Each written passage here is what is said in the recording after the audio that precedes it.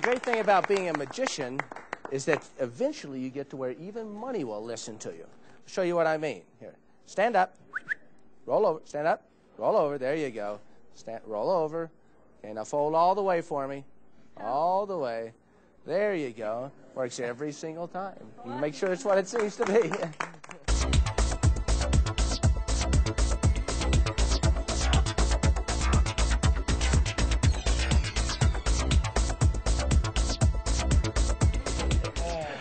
I'll tell you a secret. One of the reasons magic works is that observation is really difficult. Okay. So, now you already told me you had 36 cents, which I thought was far out. You Uh, need it? no, I want more. Could you loan him a bill? Oh, yeah, sure. I'm glad you're here. I really am, yeah. I'm you go. glad he's here too. Uh, 20, that old 20 again. Well, you didn't get, oh, okay, hold it a little longer, sure. That's enough. Now, Who did he loan it to? See, now here's the deal. If anything happens to this bill, you owe him $20, and I have no responsibility. Well, you didn't think it was going to be like that, did you? Now, uh, since you've been generous enough to, to enter an entire $20 bill into our little game, there is no reason that I personally shouldn't throw in a dollar. Why can't he use a dollar? No, because I have the dollar. In fact, you have the dollar. I'll take the 20. Now, hold the pri- Now, if you notice that bill, you can fold it and fold it, yes? And fold it up so that there's a, there's a number on, on this side and there's a number on that side. So that you have two numbers visible. Yes? Perfecto. I don't want you to know which is which. okay, hold your hand palm upward. This one here. No, this one here. Better take that one away. Cover the bill. Uh, no, not that tight. Too- no, just relax, relax, relax, relax, relax.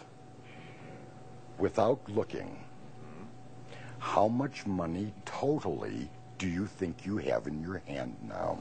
Twenty-one dollars. Well, that's what I would have said. now that means you've made a dollar. Yeah, dollar. Cause I'm keeping yours and I'm getting his back. Okay, now, now, open, open your thumb, relax your finger, just relax. I'm going to sneak in here and take one of the bills. Okay, if I took the single, Uh huh. what does that leave you? Twenty. And that's the game. Right. No, my friend, I have the 20. Wow. Open your hand and show us what you have. Oh, that's some shit.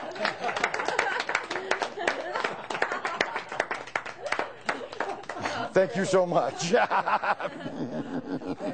and you don't have anything. Back to his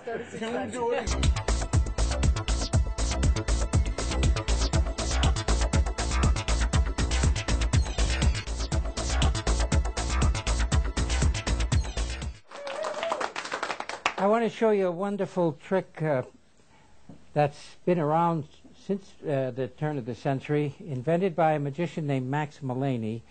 Um, I'll just use uh, four of these.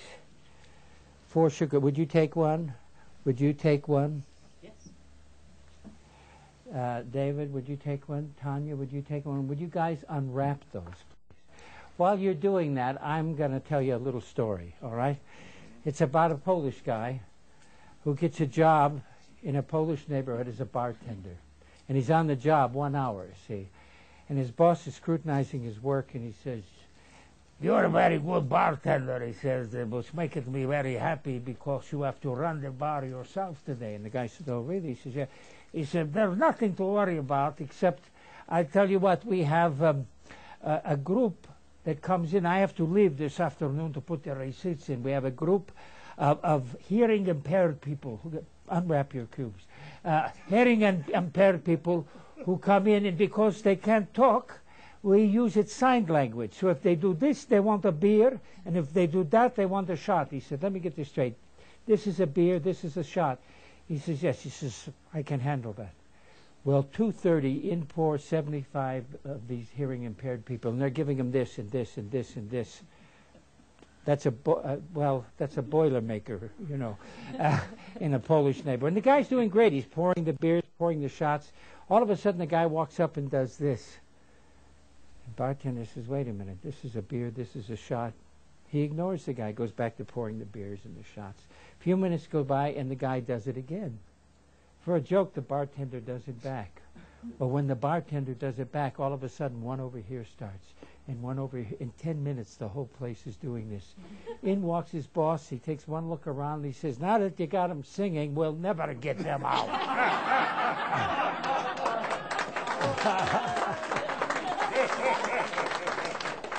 May I have the, uh, the sugar Mine broke. Yours broke. That's why we have more, David. Okay. I don't have to tell another joke, do I, for God's sake? No, please. Okay. Thank you. okay. David, you've messed you've messed the the entire table up. Okay. Okay. All right. Good. This one. Very good. Now this is called Chinkachink, and uh, that's the only words Max ever used. Now you can cover any of these, but I'm going to cover these. Watch, Chink-a-chink, one jumps. I'll do it again. You can actually see it happen. Watch. Here's one more. Watch like that. This is the hard way. It's called the bank shot. One, two, three, four lumps of sugar.